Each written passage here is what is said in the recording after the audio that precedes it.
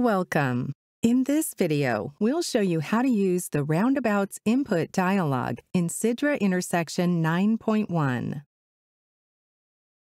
This video is prepared with examples based on the U.S. HCM customary software setup with U.S. customary units. If you haven't already, please subscribe to our channel, hit like, and leave a comment on this video. We'd love your feedback. Now let's begin. An unsignalized roundabout or a roundabout with metering signals site can be created using the roundabout command in the Add New Site command group under the Site tab.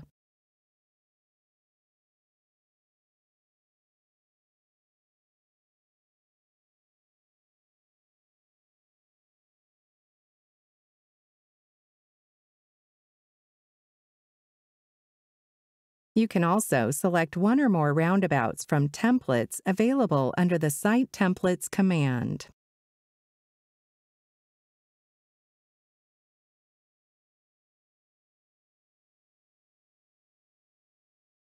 When a roundabout site is selected in the project pane, the roundabout's input dialog becomes available in the Site Input section.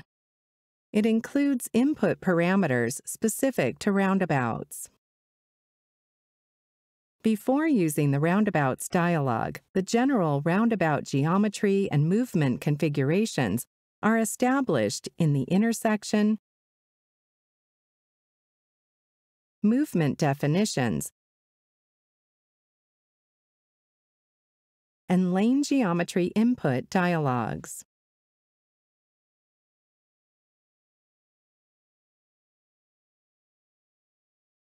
In this tutorial, we will use a three-leg roundabout example with a bus bypass lane. This example has a bus bypass lane. This lane is configured by entering data in the movement definitions and lane geometry dialogs. Click Roundabouts in the Site Input section to open the input dialog. The Options and Roundabout Data tabs will always appear in the Roundabouts dialog.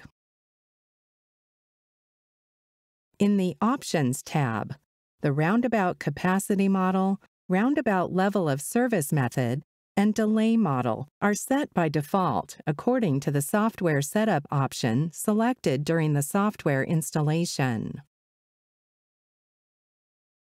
For this example, we have selected the Sidra Standard HCM Roundabout Capacity Model option. When the US HCM6, HCM6 Extended, or the HCM 2010 Capacity Model option is selected, the relevant HCM Data tab will also appear. You can select the options in the roundabout level of service method and delay model groups, irrespective of the roundabout capacity model chosen. Changes to the HCM delay formula and exclude geometric delay parameters will apply to all site types. The HCM roundabout capacity model extension parameter is applicable only if the selected capacity model is US HCM6, HCM6 Extended, or US HCM 2010. This option is useful since the original US HCM6, HCM6 Extended, and HCM 2010 capacity models do not include modeling of unbalanced flow conditions. Check the relevant box to apply the SIDRA method for unbalanced flow conditions as an extension to the selected HCM model. The section titled Other Roundabout Models includes secondary models provided for research purposes. Check the option boxes if you want to include the capacity estimates from these models in the detailed output report. Let's make a few changes in the Approach-Based Geometry table in the Roundabout Data tab.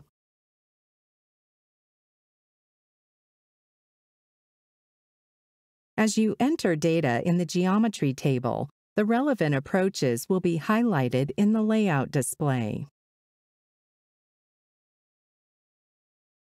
In front of the West approach, change the number of circulating lanes to 1 and the circulating width to 25 feet.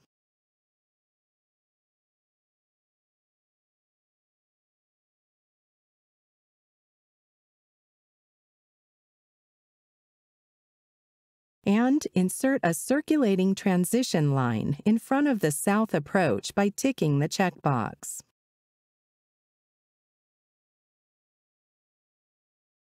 For the SIDRA Standard HCM Capacity Model, the SIDRA Standard HCM Roundabout Capacity Model Calibration Parameters table will be available to modify the environment factor and entry circulating flow adjustment parameters when necessary.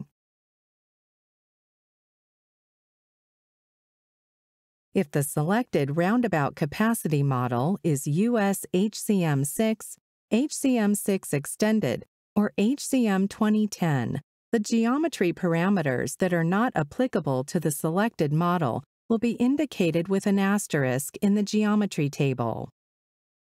In this case, these parameters are shown for information only, and their values will not affect the results. The US HCM6 data, HCM6 extended data, and HCM 2010 data tabs contain the relevant Roundabout Capacity Model Parameters table and the Roundabout Capacity Model Calibration Parameters table.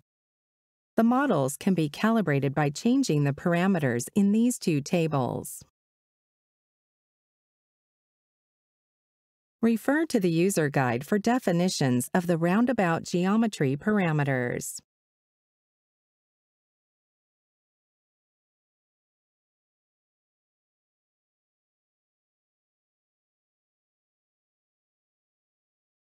Now, let's have a look at the roundabouts dialog for a roundabout with metering signals.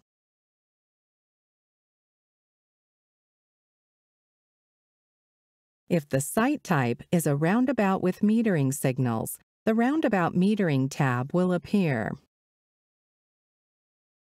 Data specified in other tabs of the Roundabouts dialog will apply. The Roundabout Metering tab includes various design and signal timing parameters unique to roundabouts with metering signals. Click the symbols on the image to define metered and controlling approaches. Inspect the layout picture as you make the changes to ensure that you obtain your desired combination of metered and controlling approaches.